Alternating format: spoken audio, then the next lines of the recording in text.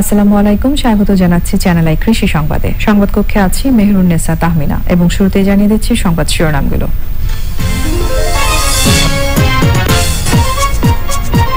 রংপুরের বরেন্দ্র বহুমুখী প্রকল্পের আওতায় পঁয়ত্রিশটি উপজেলায় নদী, খাল ও বিল পুনর্খনন কার্যক্রম শুরু। সুফল পাচ্ছে কৃষক ও মৎস্যজীবী। এবং নড়াইলে সরকারি ধান সংগ্রহ অভিযান শুরু। মোবাইল অ্যাপে কৃষক নির্বাচন।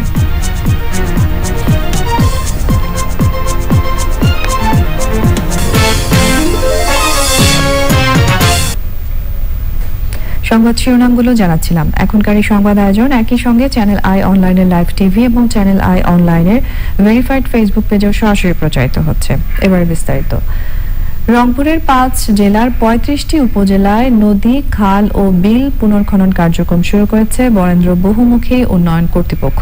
এতে করে জলাবদ্ধতা নিরসন, সেচ সুবিধা বৃদ্ধি সহ নানা সুবিধা পাচ্ছে কৃষক ও মৎস্যজীবীরা। মেরিনা লাভলি রিপোর্ট।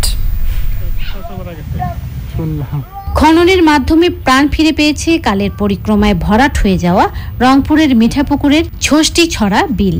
বিলে তৈরি হয়েছে মাছ চাষের সুযোগ। আসন্ন বর্ষায় জলাবদ্ধতার হাত থেকে রক্ষা পাবে ফসল আর শুষ্ক মৌসুমে বিলের পানি ব্যবহারে ফসল আবাদেও গতি আসবে এমন আশা কৃষকের। মানে এই ষষ্ঠী ছড়া বিল আগে মানে জমির মতন হয়ে গেছিল। এখন এই বিলটা খরনের পরে এখন বিলটা সৌন্দর্য বাড়ছে। বিলে মাছ চাষের জন্য খুব উপযোগী হয়েছে এবং তার পাশাপাশি আমরা যারা কৃষি চাষাবাদ করি এই বিলের পানি উত্তোলন করে আমরা সেই চাষাবাদ সেচ পানি সেচ দিয়ে ইরিয়াবাদ করতে পারব। আমাদের এই ষষ্ঠী ছড়ার বিলটা খনন হওয়াতে এখানে প্রচুর পরিমাণে অতি- অতিথি পাখি আসছে। আর এখানে আমাদের একটা প্রাকৃতিক সৌন্দর্য তৈরি হয়েছে।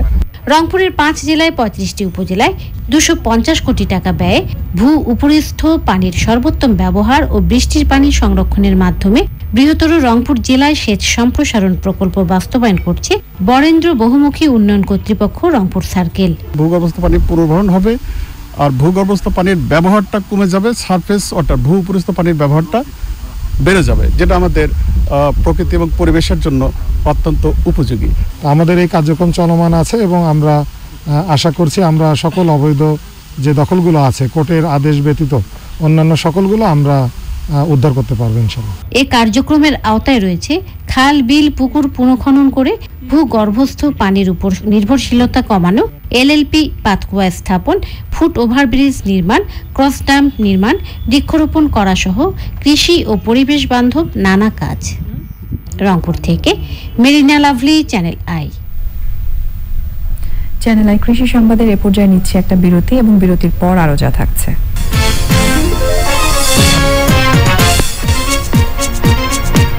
নড়াইলে সরকারি ধান সংগ্রহ অভিযান শুরু, মোবাইল অ্যাপে কৃষক নির্বাচন।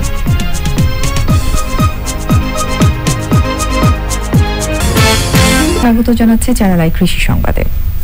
নড়াইল সদর উপজেলায় কৃষকদের কাছ থেকে সরকারিভাবে ধান ক্রয় করার লক্ষ্যে মোবাইল অ্যাপের মাধ্যমে কৃষক নির্বাচন করা হয়েছে। উপজেলা পরিষদ মিলনায়তনে লটারি কার্যক্রম অনুষ্ঠিত হয় এবং জেলা খাদ্য গুদামে ধান ক্রয় কার্যক্রমের উদ্বোধন করা হয়। এই মৌসুমে সদর উপজেলায় তিন হাজার পঁচাত্তর মেট্রিক টন ধান ক্রয়ের লক্ষ্য নির্ধারণ করা হয়েছে।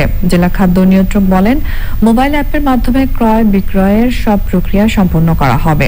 এতে একদিকে সময় বাঁচবে, সেই সঙ্গে কৃষক হয়রানি ও মধ্যস্বত্বভোগীদের দৌরাত্ম্য থেকেও রেহাই পাবে।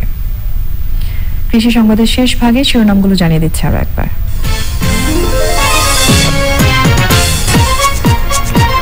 রংপুরের বরেন্দ্র বহুমুখী প্রকল্পের আওতায় পঁয়ত্রিশটি উপজেলায় নদী, খাল ও বিল পুনর্খনন কার্যক্রম শুরু। সুফল পাচ্ছে কৃষক ও মৎস্যজীবী।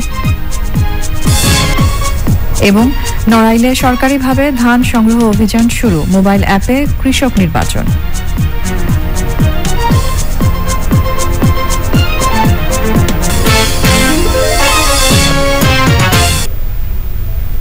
প্রিয় দর্শক চ্যানেল আই কৃষি সংবাদের আজকের আয়োজন ছিল এ পর্যন্তই। পরবর্তী সংবাদ আয়োজনের আমন্ত্রণ জানিয়ে শেষ করছি। ধন্যবাদ সঙ্গে থাকার জন্য।